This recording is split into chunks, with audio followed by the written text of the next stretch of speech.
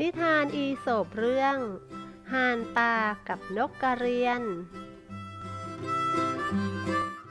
กาลครั้งหนึ่งนานมาแล้วนาบึงน้ำอันอุดมสมบูรณ์ มีฝูงห่านป่าและนกกระเรียนหากินอยู่ด้วยกัน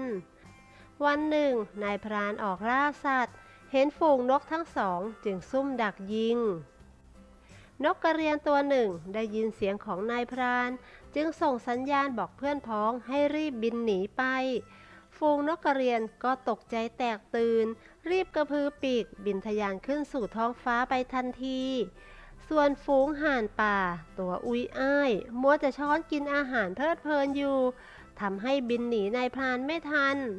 จึงถูกนายพรานจับไปได้ทั้งหมดนิ สอนให้รู้ว่า ในยามคับขัน ผู้ที่ห่วงแต่ความสุขและทรัพย์สมบัติ มักตกอยู่ในอันตราย